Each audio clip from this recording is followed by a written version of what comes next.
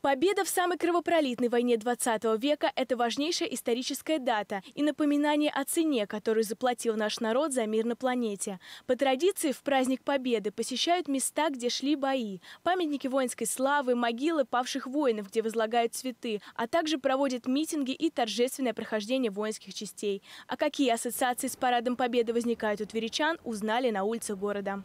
Какие у вас ассоциации с парадом 9 мая? Ассоциация позитивная, я считаю, это самым главным праздником для России. Вот. И моим главным праздником тоже. Люблю с детства. гордость, счастье, радость, а, жизнь. Присутствовать там, ощутить, прочувствовать на себе эти эмоции. Я думаю, надеюсь, там встретить ветеранов.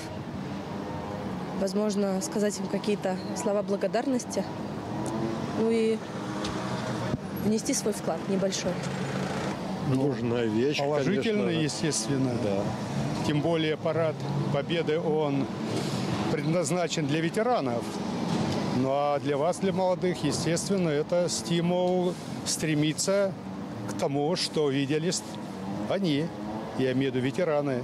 А в условиях специальной военной операции это обязательно. Не поддадимся и не подведем ветеранов. гордость за наших предков, благодарность им за то, что мы сейчас живем в мире, в покое. Хорошая э, Россия победитель. Я вообще горжусь своей страной. Ну, победа, она и есть победа. Надо радоваться и чтить память погибших.